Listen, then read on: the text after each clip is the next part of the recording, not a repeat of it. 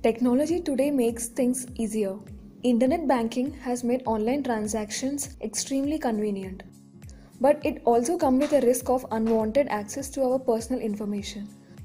Follow these steps to protect your accounts. Use passwords that are long and hard to guess. Strong passwords are alphanumeric, that is, capital and small letters, special characters, and numbers. Avoid using public computers or shared computer for online transactions. Use virtual keyboard to enter login details in order to safeguard your information from malware that may record your keystrokes. Buy items from secure websites that starts from HTTPS and also look for security padlock icon. Be aware of fraud that can be committed through email also known as phishing, mobile also known as vishing and SMS also known as smishing.